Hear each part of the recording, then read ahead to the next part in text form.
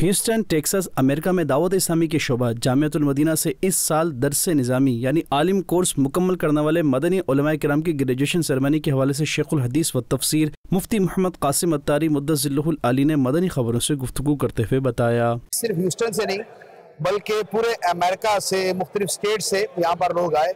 तो यूँ कह लें कि ये ह्यूस्टन के लिए भी एक फ़ख्र की बात है कि माशाल्लाह यहाँ पर दूसरी स्टेट से जो है वो लोग स्पेशल शिरकत के लिए आए। इतनी बड़ी अपॉर्चुनिटी मौजूद है इनमें दीन के लिए और अपनी दीनी एक्टिविटी के लिए। तो ज़रूर ज़रूर उसका हिस्सा बने। पिछले साल ग्रेजुएट्स हुए। वो भी तमाम के तमाम अपनी अपनी फ़ील्ड के अंदर बड़ा एक्टिव रोल अदा कर रहे हैं। और जो इस साल हुए हैं, वो भी इन बहुत जल्द वो एक प्रैक्टिकल लाइफ में आ चुके होंगे। और यहाँ मुसलमानों के लिए सोसाइटी के लिए बहुत कुछ कर रहे होंगे। और ये इनशाला ये सिलसिला हर साल ही जारी रहेगा। हर साल एक एक बैच जो है वो तैयार होके इस माशरे को मिलता रहेगा।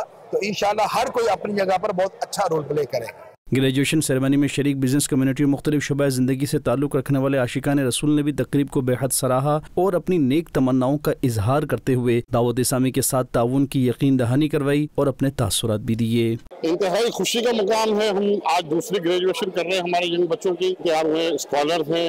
इंशाल्लाह अगले साल और तैयार होंगे। This is a great great achievement of Dawat Islami with the blessings of Emir Ahl Sunnah. And it's such a blessing to be here. This is my second year in a row. This is the second time we've done this. And this is the next generation that will do that. So I'm very humbled to see that not just for the first time, but the second time this year. And so I'm really excited to see next year where it goes uh, and to be back here, inshallah. This is the second graduation that I'm coming over here. It is amazing to see so many American citizen kids who have actually grown now and been teenagers and young adults who are actually graduating. And I'm very much connected with the Masala Faizan Malida and Dawat Islami. And we are working together. I'm very proud and honored to be here today with the second graduation ceremony.